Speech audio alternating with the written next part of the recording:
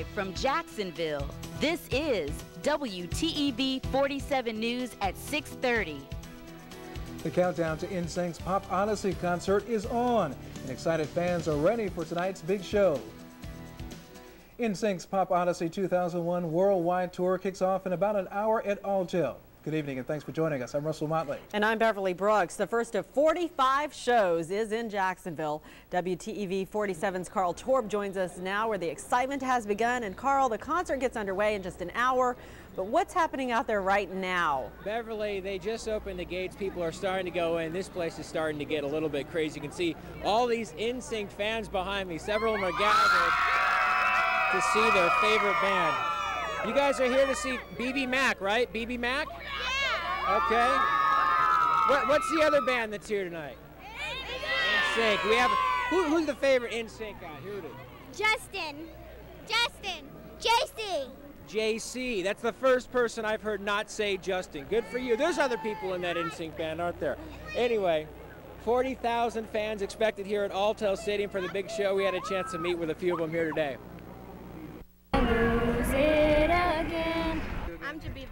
Jabiva. I'm How old are you? Four. And how come you like NSYNC? Because my sister likes it too. I don't care what people say. I'm having fun, and that's all that matters. I love NSYNC, and I don't care if people know about it. I hear it so much, I have to like it. So I like the music. NSYNC Glow Lights photos! NSYNC Glow Lights photos passes!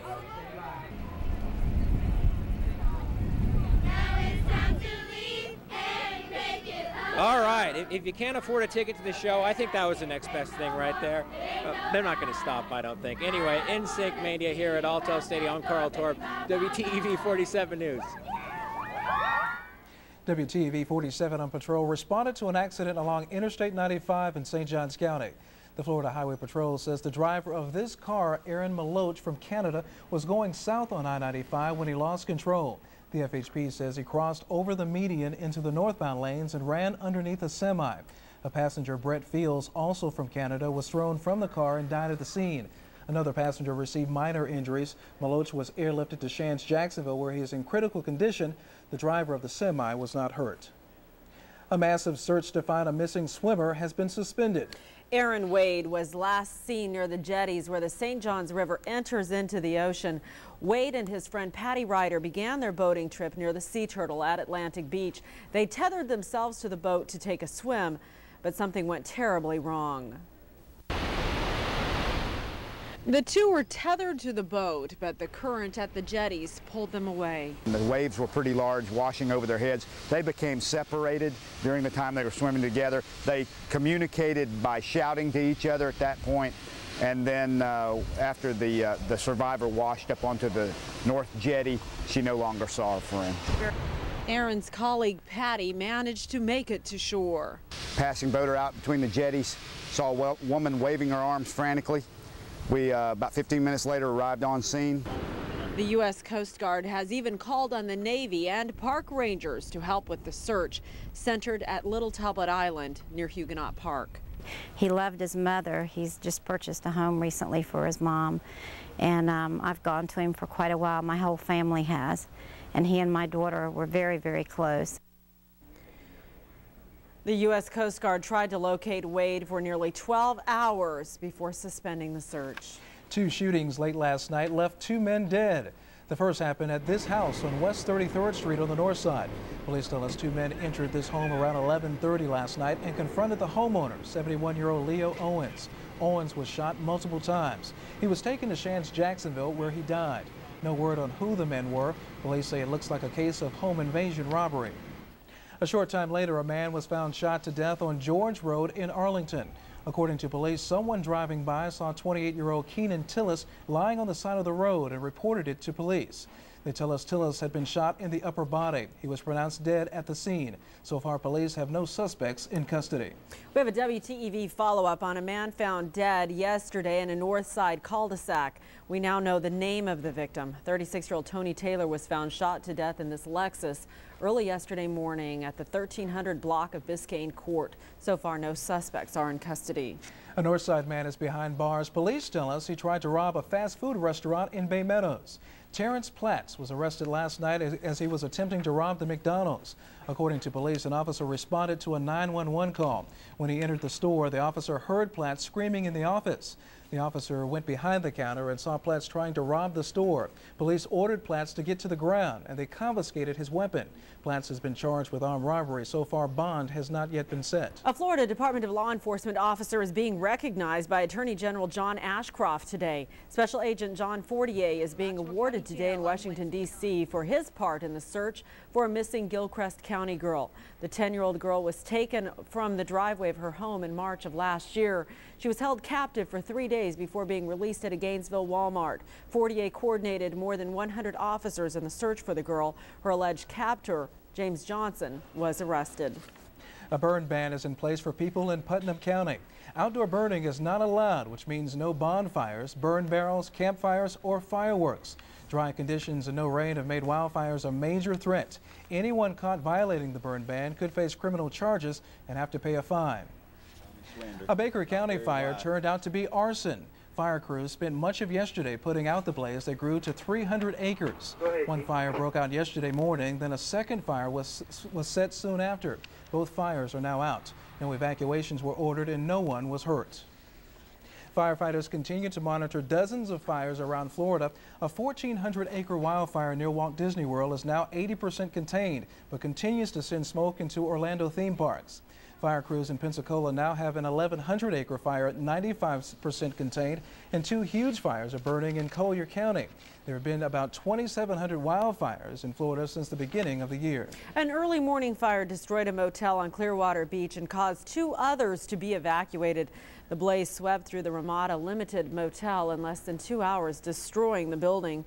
Many of the guests waited through much of the morning to find out if any of their belongings could be salvaged. All of the guests escaped unharmed, but two firefighters were hurt. One was injured when the roof fell on him. Another suffered from dehydration, but officials say both will be fine. The Red Cross is now helping those displaced guests. Governor Jeb Bush made the fight against cancer a little easier. Today he was in town to sign an official bill for the Mary Brogan Breast and Cervical Cancer Early Detection Program. The bill is part of a comprehensive package of family initiatives to promote the health and well-being of Florida's families. It expands breast and cervical cancer screenings and helps with treatment for low-income women. Each year, thousands of women are diagnosed with breast cancer and cervical cancer, and early detection and treatment is critical.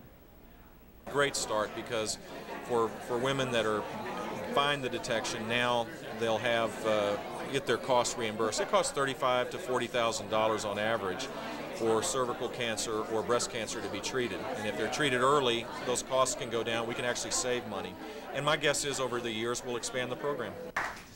This bill is one of three the governor signed today. The other bills expand the number of locations where babies can safely be abandoned and creates a mandatory criminal sanction for certain parents who fail to pay child support. Coming up on WTEV 47 News. It's time to say goodbye to Star Trek Voyager. We'll have some clips of tonight's series finale. Plus, the First Coast wants to be prepared in the event of a hurricane. We'll take you to the drill next.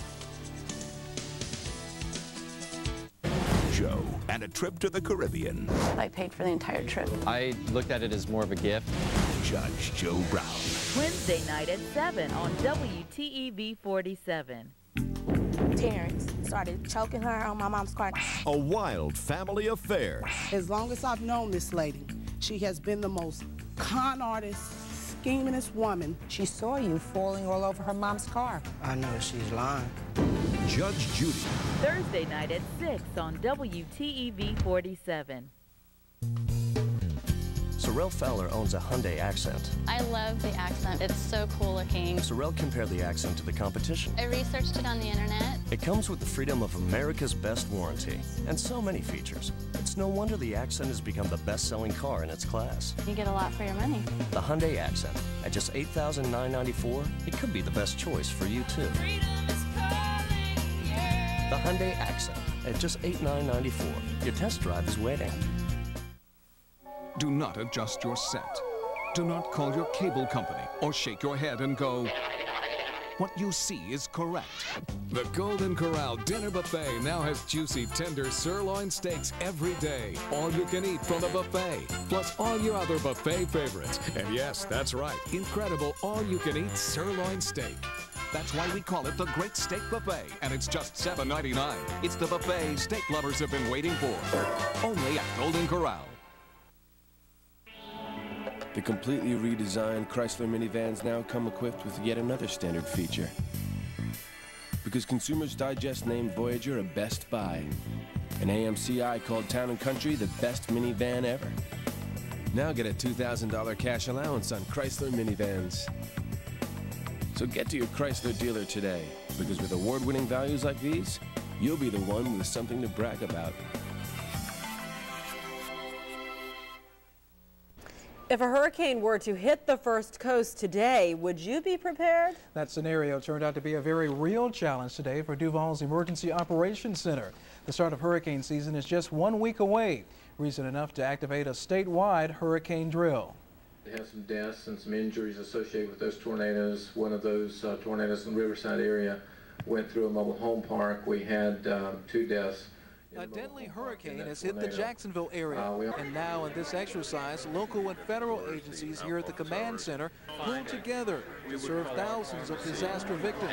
As a result of being able to do training like this, like we're doing today, it increases our preparedness for a hurricane in Jacksonville. We spend a lot of resources, we spend money and time in being able to prepare, and this training is a part of that.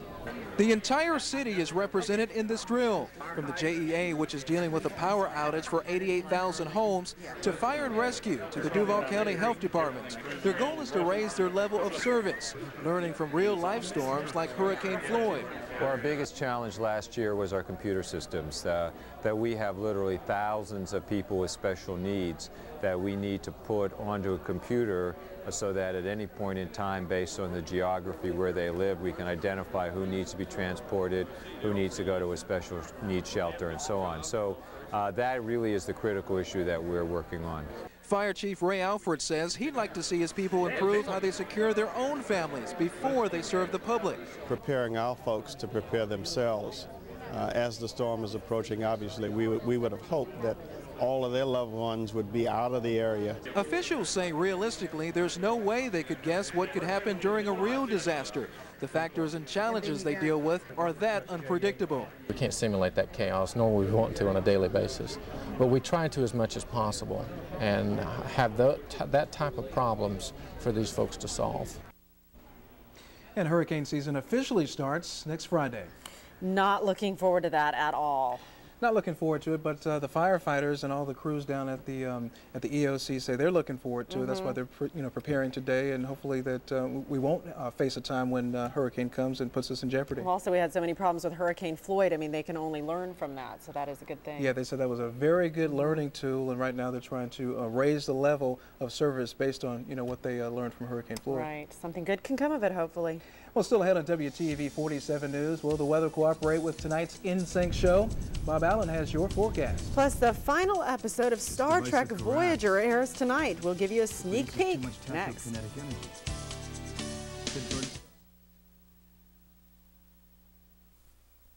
Even though we just turned 60, we're still climbing mountains, trekking through forests, and playing in the mud. And now we're celebrating that heritage during the Jeep Anniversary event. Get a 1000 cash allowance and 0.9% APR financing when you buy a Grand Cherokee. Or returning Daimler Chrysler lessees with preferred credit can lease a two-wheel drive model for just 277 a month. So come celebrate our great past. It'll make for an exciting future. Check one out at your Jeep dealer.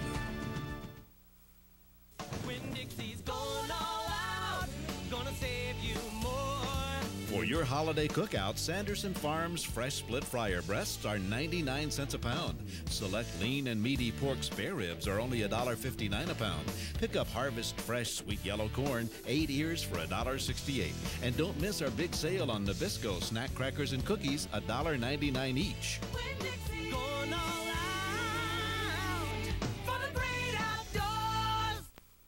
It's Coggin Savings Days now at Nissan at the Avenues. We've got spectacular deals on more than 250 pre-owned Nissans that are absolutely priced to move.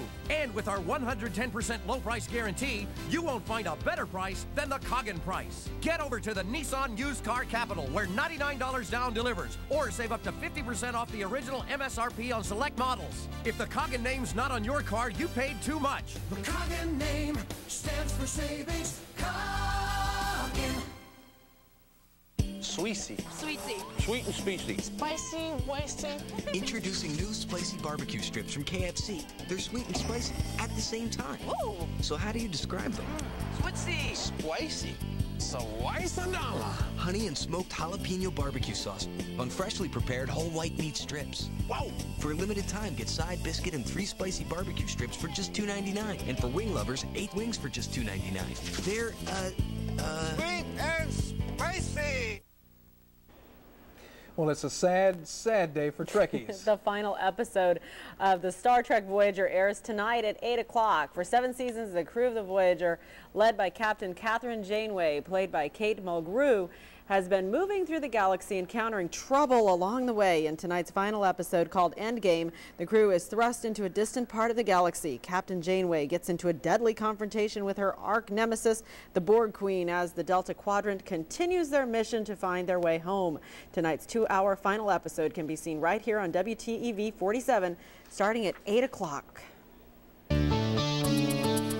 Now, weather with Bob Allen. Folks, I think we must have been in some kind of a time warp last night into the morning hours because the rain that we thought would be here, that I thought would be here. Wait, hey, wait a minute. Oh, I forgot. In the true Trekkie and Trekker mode, Director Captain Saunders, please beam me up.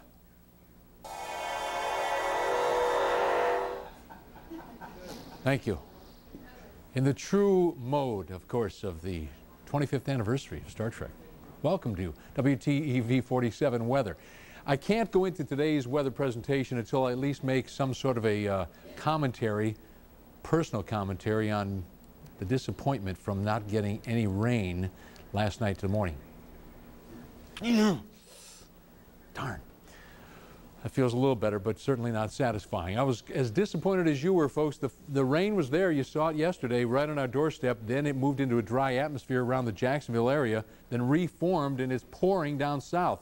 Right now we're at 85 degrees here. 85 at Jacksonville, 75 St. Augustine, 89 Orlando, and 88 at Ocala, 80 at Miami. Here's our fly through. This is the best Star Trek stuff we can do. I know it's a disappointment. Look at southern Florida. Clouds and rain. That's the front that was right here yesterday on the west northwest doorstep and drifted through, reorganized in central Florida because it was dry atmosphere that the water moved into above in the first coast region, and now it's wet. More moisture started to flow in out of the Gulf of Mexico across southern Florida, so you could see how things kind of got together, and now it's a solid cloud bank along a frontal system. 86 the high temperature today that we had, 91 at Ocala and 90 at Orlando, so still some warm temperatures, but it will be cooler tonight and cooler for the next few nights than it has been, and our daytime highs will not be in the 90s, will be in the 80s. Here's a couple of lower temperatures, West Palm, Panama City and Tallahassee at 82, Miami's at 83. Once again, here's that rain, and this is as good as it looked yesterday evening and night just to the west and northwest of us. It's like it just jumped, leapfrogged over basically, and that's kind of what it did. We're surrounded by water, but once again, as the front moved in, it became diffused, dried out, so to speak, and then once it started traveling again towards southern Florida, the moisture out ahead of the front started gathering in, and now there's a lot of rain down there, rain that we should have had. Part of it belonged to us. It's a conspiracy. Over the next 24 hours, that cold front will continue to move to the east and southeast. Chance of rain, well, it's still going to be in southern Florida. We'll have beautiful weather and nice temperatures in the 80s. Hey, can they beam me out? No? Okay, just to beam in? Shucks. That's kind of cool. Swirling around is the. Uh, it's good. Uh, Captain Sanders is good. We'll take him on, on our flights. Swirling around is the center of that low pressure system. Then the cold front goes way out, and look at that, all the way down northeast and southeast. And this is going to be stuck. So plenty of rain for the Midwest, Great Lakes, Ohio Valley, and Tennessee Valley over the next couple of days. Meanwhile, we will stay dry. Here's the way it looks for the weekend. Then some scattered thunderstorms, all we can hope for in the southeast and Gulf Coast region. Afternoon, 30% chance. Cool and unsettled around the Ohio Valley and Great Lakes. Everywhere else looking pretty good except for the extreme Pacific Northwest. We'll have a clear sky overnight tonight. Cooler with a temperature around 60, beach temperature 64. We'll have a light wind. This will be a very pretty night. For tomorrow, sunshine and warm, not hot. Upper 80s for the daytime high in the city, mid 80s at the beach with an east wind at 10. The extended forecast Friday, Saturday, and Sunday. Partly cloudy weather, 30% chance of some afternoon or evening showers or thunderstorms. Upper 80s the daytime high, mid to upper 60s the nighttime low. So that means Monday will be the same forecast as Sunday, the Memorial weekend. And then north, northeast winds tonight, 10 to 15 knots, seas 3 to 5 feet, inland water smooth. And just to let you know, the Treasure Chest of Hospice Northeast, they are celebrating the 25th anniversary of Star Trek by raffling off a beautiful 3D set, chess set. Stop by there and pick up a raffle ticket. And of course, you'll be supporting Northeast Hospice. Have a great evening. Back to Russell and Beverly. All right, thanks a lot, Bob. That's Bob beaming out. That was cool the way Mhm. they did that, you know. I'm We should do that every night. I, I wish. I'm sure a lot of people would want to be beamed up over at Alltel Stadium. We'll check back in with Carl Torp, who's live at Alltel for NSYNC Mania. And University of Florida star is being investigated tonight. Ryan has the latest from Gainesville. Next in sports.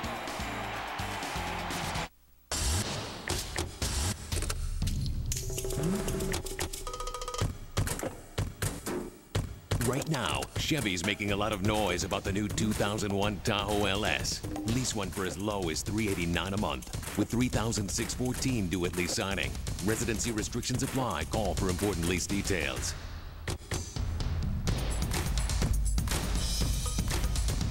Tahoe, as low as 389 a month. Now at your Chevy dealer. You have it pictured in your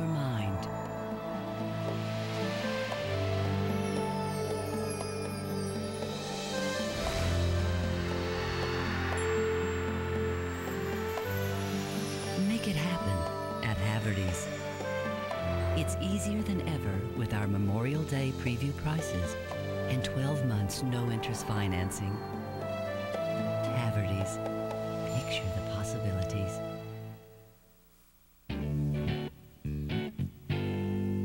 Some people buy a Saturn because they get a lot for their money.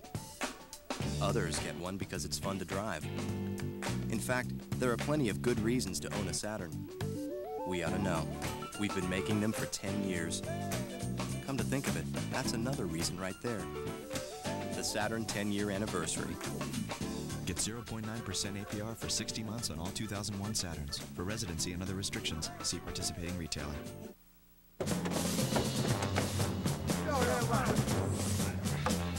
As fans everywhere prepare for game day, we introduce new Publix Premium Certified Beef. Leaner, tastier, more tender steaks, painstakingly inspected by the USDA and by us to guarantee they meet the highest standards our meat has ever had to meet. Fellas, come September, we do this for real. Oh, yeah. Available now at Publix.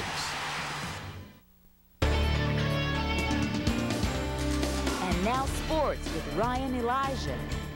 Good evening, everybody. Still stinging from the loss of Kwame Brown, the Gator basketball program now dealing with another potential setback tonight.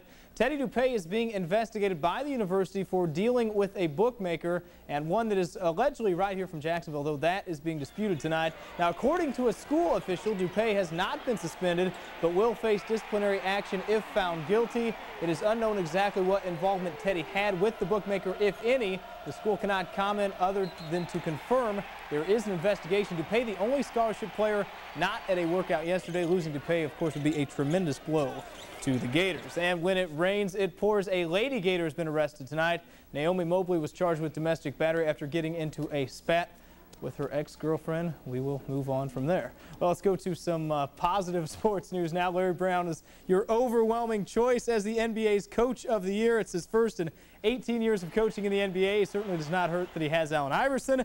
Meanwhile, it looks like Gary Williams will finish his career in Maryland as we see a very subdued Brown. And right there is Williams. Today, the Terps extending his contract through the year 2008. Well, to not have the drama of yesterday's realignment, but the NFL owners did approve a change today that would allow teams to wait until Sunday to designate its inactive players. Previously, teams had to be required to deactivate on Friday, so a very subtle change out of the owners' meetings. Well, both JU and UNF got their campus send-off parties today. For JU, a much shorter bus ride. They will go to Tallahassee. The Dolphins will work out tomorrow at Dick Howser Stadium before squaring off with those Auburn Tigers on Friday afternoon.